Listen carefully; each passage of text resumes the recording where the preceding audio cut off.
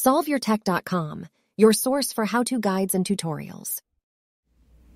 Welcome to our video about how to delete an alarm on an iPhone 15. If this guide helps you out, then please consider subscribing and liking this video. If you have too many alarms in the clock app on your iPhone, then you might decide to delete some of them. You can do this by opening the clock app. You can then select the alarms tab at the bottom of the screen, and then you just need to find the alarm that you would like to delete. Now you can swipe to the left on it and tap the delete button and that alarm is going to be gone.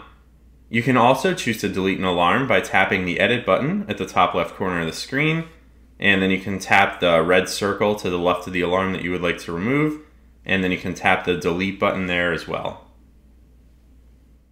Make sure to like this video and subscribe to our channel to see more tech guides like this one.